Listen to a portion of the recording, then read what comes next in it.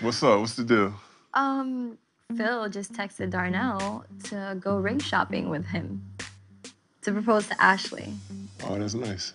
So she's actually always wanted a ring. She's been with her guy for like eight years.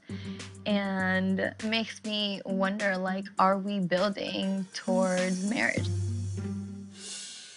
Because it's definitely something that I want. You know, my parents have been together for 30 years almost, you know. Right. That's always, you know, what I've seen. So marriage is something that I do see in my future and it's something that I want to go through with.